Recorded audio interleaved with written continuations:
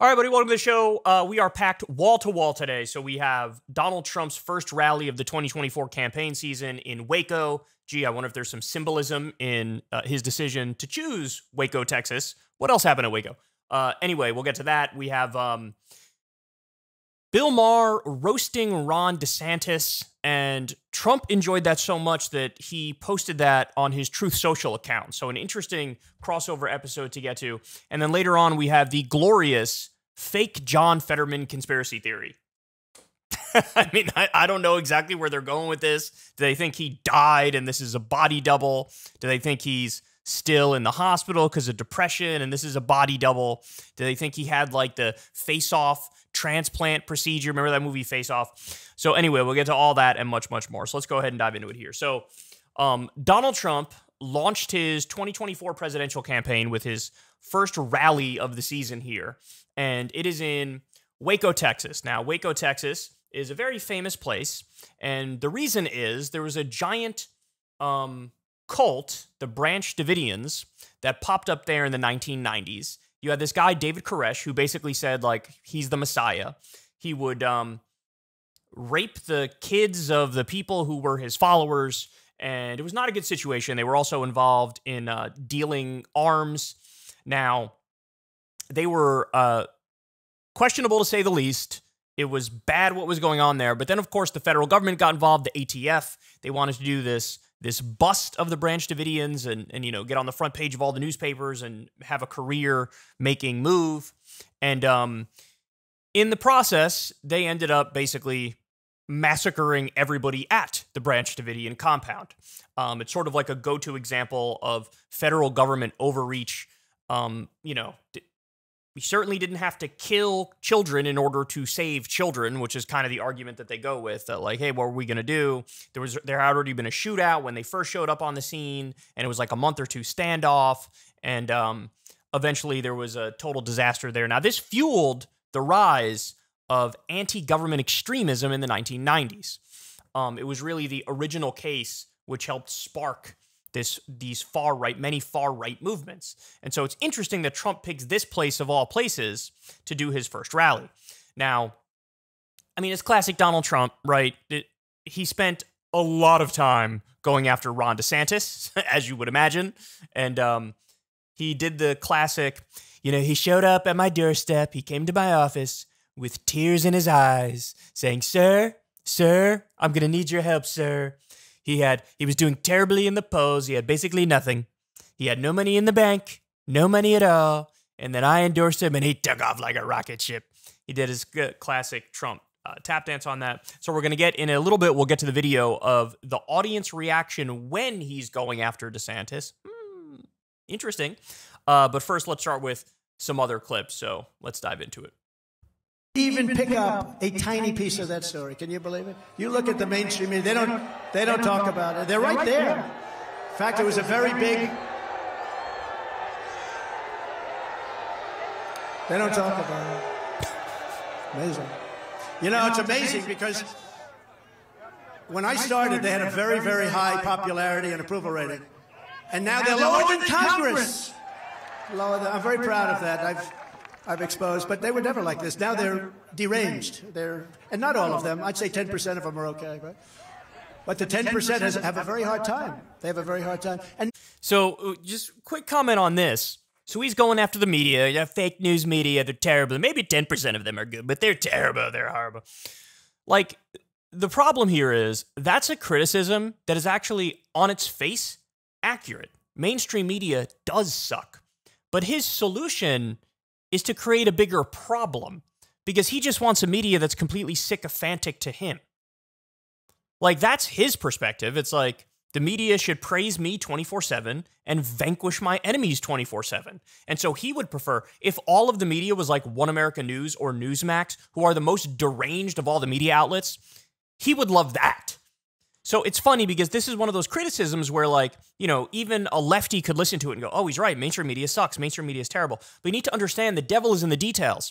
And the ways that he would go about, quote unquote, fixing the media would actually make the media significantly worse than it is right now. Nobody can understand why a media would be against things where we want good education for our children, where we want uh, where we want real strong military, where we want low taxes and low regulations and good schools and good all. It's. I love that. The media is against good schools. They're against low taxes and low regulation. They're against the good education system. All those things are so loaded. By the way, he tried to reform the education system. And what was his idea? Quote unquote patriotic education. You want to take a stab in the dark what that's like? It's totally lying to people and propagandizing people about our history. They want to bury all the things that are objectively negative and pump up all the things that they think are good. And by the way, in their per- from their perspective, Ronald Reagan was a savior and he was the hero and he was objectively the best president. And that, of course, is demonstrably untrue if you have any reasonable standards. But this is what he means. And he's bragging about low regulations. He's talking about why doesn't the media, you know, want low regulations? Well, I mean, we just saw a train derailment in East Palestine, Ohio, which was brought about because of regu- uh, lack of regulation. We just saw a bank failure, uh, the Silicon Valley Bank, because Trump repealed the regulations in 2018 that could have prevented that. So it's amazing to me the way that he talk he talks about this stuff. It's like it's just everything is so loaded. His terminology is so loaded, and it's he has never once in his life strawmanned an opposing position. It's a crazy thing that they fight against. And uh, for some reason, the radical left, I don't even think they know what they're doing. I think they're probably, they have so much hatred for our side. They don't want to listen to the issues, they don't want to listen to the policy. But it's a very. I love that. Like the idea that, you know, I would, I'm opposed to Trump, but I would be for Trump if I just looked at his policies. It's like, that's the main reason I'm against you, bro. Like, I actually enjoy his unhinged behavior on Twitter. I think he's hilarious. I think his rallies are phenomenal entertainment. The main reason I'm against you is because of your policies and how terrible they were. It's, hilarious. He flips it on his head like, nobody could be against me because of my policies. Nobody could be against me because of that. Really? You increased drone strikes by 400%. You signed a pro torture executive order. You assassinated a top Iranian commander who was on the ground fighting ISIS people can't oppose you because of your policies? Are you kidding me? You guys tried to coup Venezuela and you pretended that a guy who wasn't elected president was president, Juan Guaido. I mean, I can go on and on here. One of my uh, facts I always go back to is look at what he did with the predatory payday loan industry. He made it so that the regulations which were supposed to go into effect against that predatory industry were slapped down and the lawsuits that were against them were dismissed destroyed the Consumer Financial Protection Bureau, which was a great agency, one of the best government agencies, which had returned $12 billion to defrauded Americans. And he's acting like you can't oppose him because of policy. Absurd. Anyway, let's continue. The last four or five, actually, the last month. Month. Yeah. And put the other ones up. You'll see some numbers that are incredible. You'll see some numbers that are, we just had one today 69 for Trump, and I think 18 or 19 for DeSanctimonious. Okay. He's citing here a poll from Cat Turd 2 on Twitter. It is the least scientific poll that has ever been conducted in human history. Cat Turd 2 and he posted it. He didn't even make an effort to hide the fact that it was a poll done by Cat Turd 2 on Twitter. Is it Cat Turd 2? Is 2 the number at the end of it? I don't even know. This is like right wing, far right, uh, you know, Twitter figure who Elon Musk sucks up to 24 7. I don't know why these guys are in love with this Cat Turd guy, as if like, I go, for all my serious political thoughts, I go to Cat Turd 2 on Twitter. He's citing that as if it's like a scientific poll. Now, by the way, he doesn't even need to do that. There's some actual polls where he's at like 51 or 52%, which is crushing everybody else in the field, including DeSantis. So why would you go to Cat Turd 2 to undermine your case? this guy is something else, man. Yeah, we were at 69 and one today. But if I never fought the Marxists and the lobbyists and the RINOs and the open border zealots, if I never fixed our military and I rebuilt our entire military, we defeated ISIS. We took out al Baghdadi. We took out Soleimani. He's bragging about killing the Iranian commander. How can you brag about? He was fighting ISIS on the ground, and that nearly sparked World War III. And there were shots back and forth between the uh, pro-Iranian Shia militias and U.S. troops at the time. This is not something to brag about. Our military and gave you the largest tax cut in the history of our country. We gave you the largest. 83% of the benefits of that tax cut went to the top 1% in the long term. That's a fact. That's not an opinion. That bill incentivized outsourcing of American jobs. This is something he pretended to be against, but then when push came to shove, his policies facilitated that. God, it's amazing. Oh my God, it's so crazy. Regulation cuts in the history of our country. That's why our businesses were doing so well. Not now, unfortunately. Again, the deregulation led directly to the Silicon Valley bank crash. The deregulation led directly to the train derailment in East Palestine. Ugh, he's bragging about his biggest failures. It's unbelievable. And by the way, nobody's even going to call him on it. The media is not going to do do a good job fact checking him on it. The Democrats are not going to call out this specific part of his speech.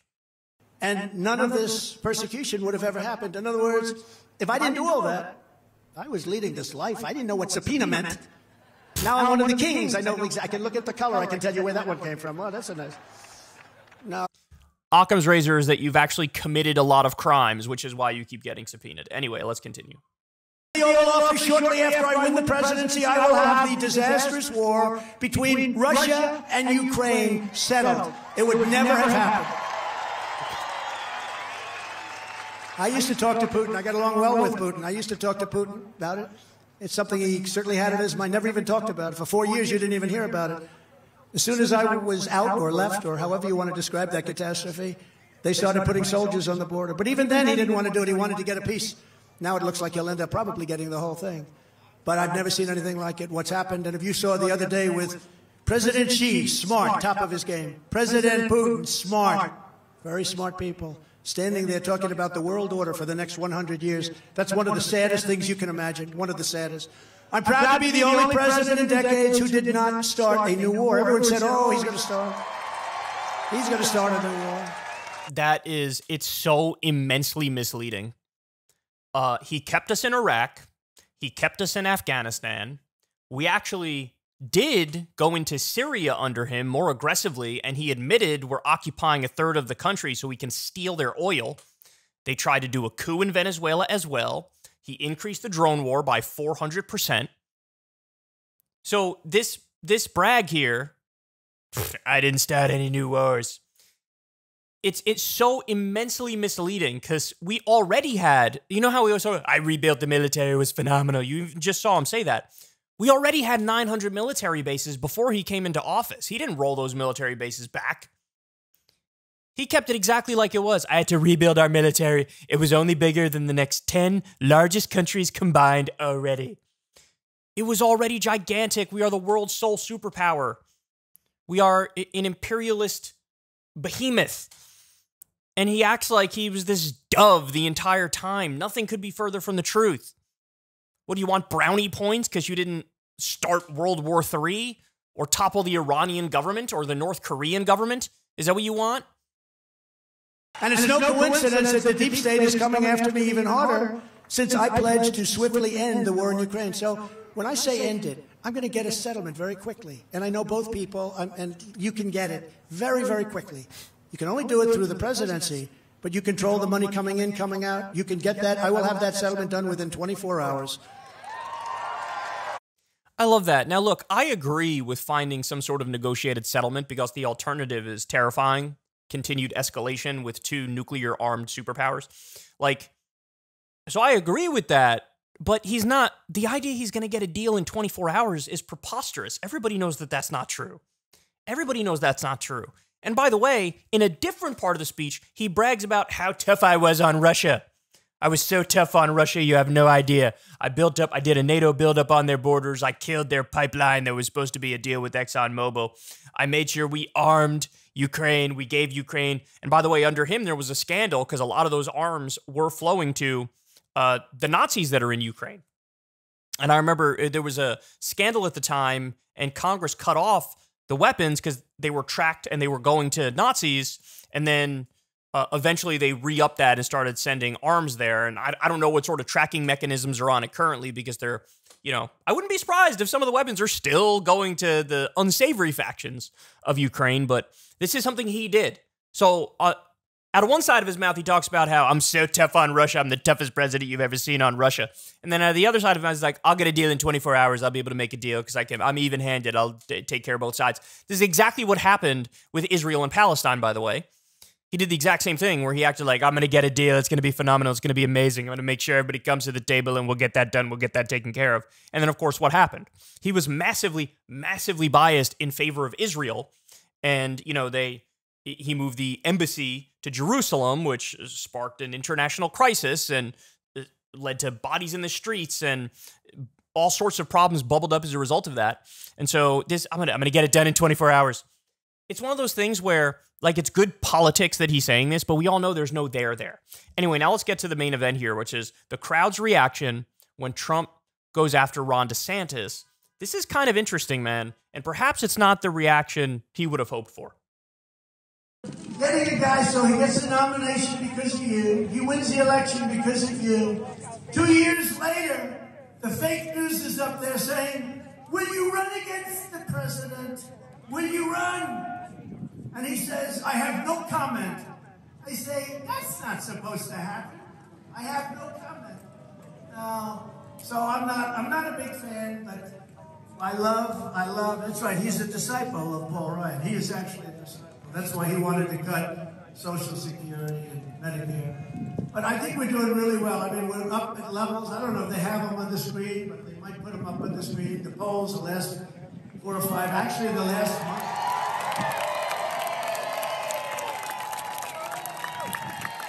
And put the other ones up. You'll see some numbers that are incredible. You'll see some numbers that we just had one today. 69 for Trump, and I think 18 or 19 for DeSanctimonious. Yeah, we were at 69 in one today. But if I never fought the Marxists, then. So, as far as that portion goes, that was one of the flatter parts of the speeches, man. When he's going after DeSantis,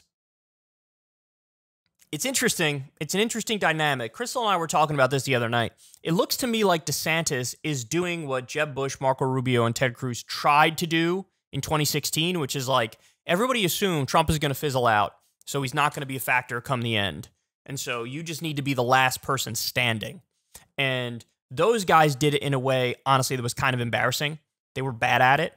And um, even though Ted Cruz was the last man standing, it wasn't enough, right?